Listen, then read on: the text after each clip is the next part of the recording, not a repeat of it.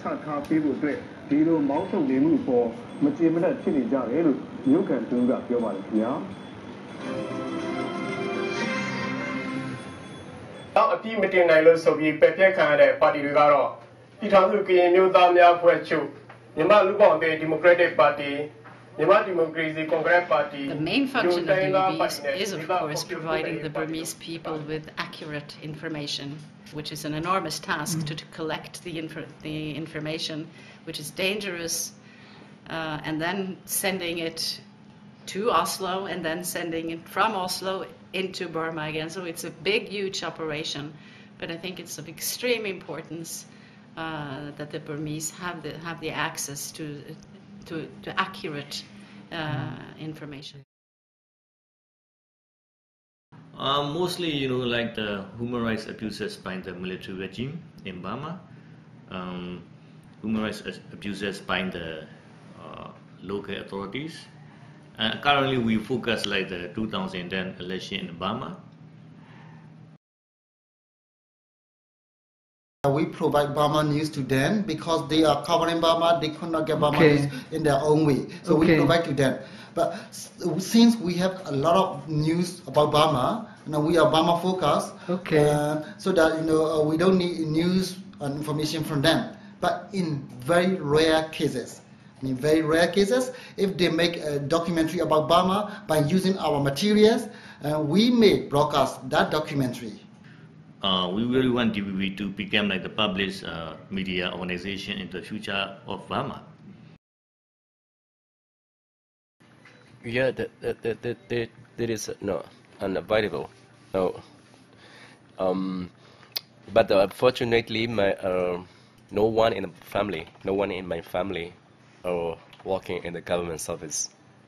Um, they they have less uh, interferes. But um, for example, my mom or my, my sister, they wherever they go, somebody keep following. Of course, uh, we can be, you know, uh, target any time. And uh, what we worry most is our archive materials. So we have extra copies in safe place, so that we don't lose anything in case. I think there may be only a little bit of relaxation in media freedom, but no, not a lot. In 1990, there was a wide range of media freedom.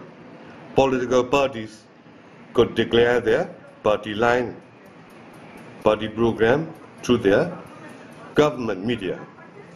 Even party leaders could give their speech through government radio and television.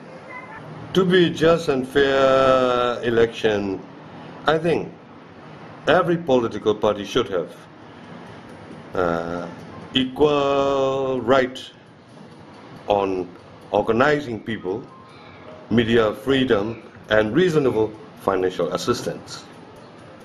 But now, in Myanmar, such rights are only monopolized by USDA Association. They can freely organize people all over the country. They can release statement, declare their party line and program through government media. For a general election, there must be free, free, fair, and transparent. Without the journalists, without the approach of the journalists, there won't be free election. As a journalist, you can't write anything, any words. Even now, you can't write rules of the elections, rules of the body. You can't write down the true things, what is happening in Burma, what is, even not for that election, even for that social things. So how can we say that we are free?